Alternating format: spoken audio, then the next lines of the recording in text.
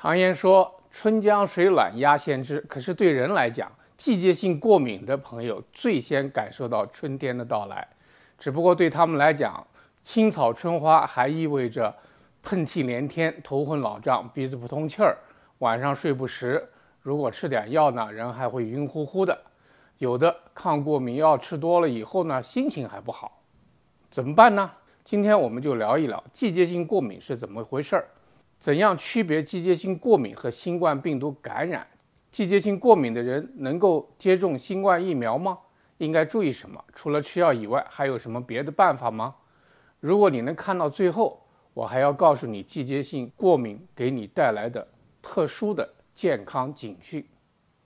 欢迎来到顶端医话，一切都是为了您的健康。如果您是第一次看我们的节目，请订阅我们的频道，点击小铃铛，加入我们健康大家庭。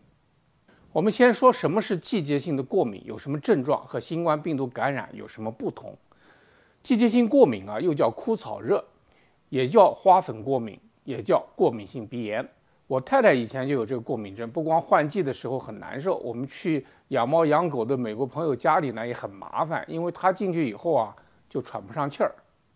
季节性过敏的人对他的症状都很熟悉啊，眼睛痒、流眼泪、鼻子堵、流鼻涕、打喷嚏。有的人来呢，还会咳嗽、哮喘、呼吸困难、胸闷，甚至发低烧。那现在就会有人担心了，是不是得了新冠了？怎么区别呢？一般来讲啊，发热、咳嗽、呼吸困难在新冠比较多见一些，而在过敏性鼻炎呢就比较少见。另外，新冠的最大的特点就是味觉和嗅觉的丧失，这个在过敏性鼻炎呢也是很少见的。是不是季节性过敏的人更容易得新冠？或者得了新冠以后症状更严重呢？从理论上讲是可能的，因为季节性过敏的人啊，免疫功能本来就有问题。比如过敏性哮喘的病人就比较容易得新冠，症状也会比较严重。一般的季节性过敏还好一点。当然，有过敏性鼻炎的人也可能感染新冠病毒，甚至发展为新冠肺炎，那么他就应该有更多的新冠病毒感染的症状。所以，美国疾病控制中心呢。把有季节性过敏的人列为优先接种疫苗的人群，也是这个道理。但是这些有过敏体质的人接种疫苗会不会有严重的过敏反应呢？我们在讨论这个问题之前呢，一定要理解季节性过敏是怎么回事儿。季节性过敏本身就是一个免疫性疾病，为什么？首先它有一个过敏源，在春天的过敏源呢，主要是花粉、树。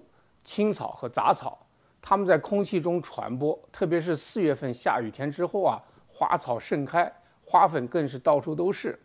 如果过敏的人啊，把它们吸到鼻腔，身体的免疫系统呢，就会错误的把这些花粉中的蛋白质呢，当成是一种有害物质，就释放一种抗体免疫球蛋白 E，阻挡过敏源，同时呢，刺激呼吸道黏膜上的肥大细胞释放组织胺。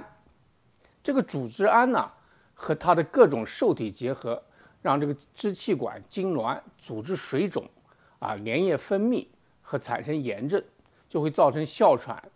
那么也能产生呢瘙痒、鼻黏膜水肿、打喷嚏、粘液分泌、咳嗽和迟发的这个炎性反应，这就是严重的过敏性鼻炎了。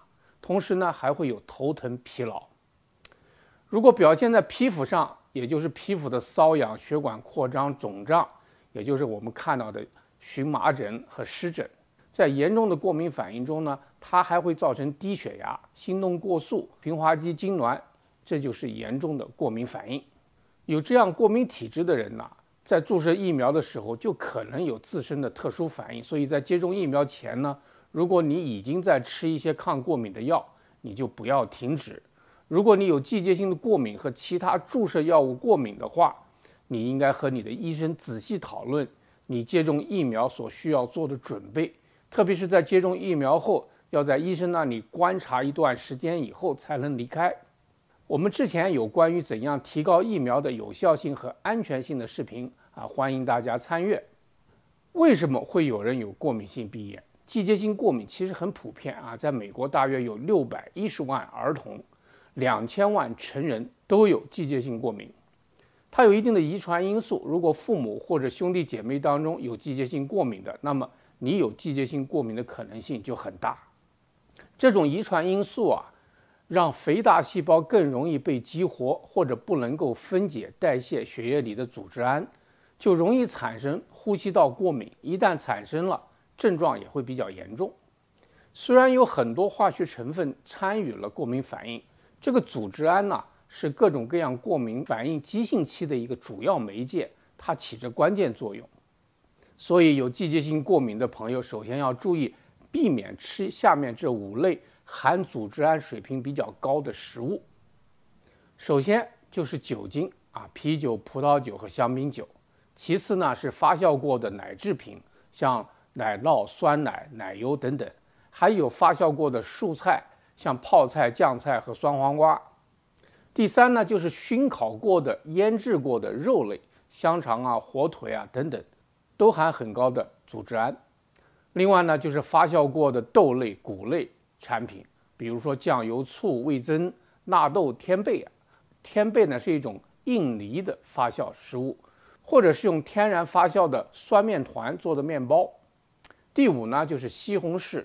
西红柿酱、茄子、菠菜、冷冻的、腌制的或者罐装的沙丁鱼和金枪鱼。另外呢，有季节性过敏的人啊，应该做下面五件事情来减少自己的过敏反应。首先是要监控自己所在地区的空气中花粉的含量。哎，这个怎么查呢？有一个网站叫做 pollen.com。如果呢，你输入你所在地的邮政编码或者城市的名字。它就会给你每天更新的一个报告。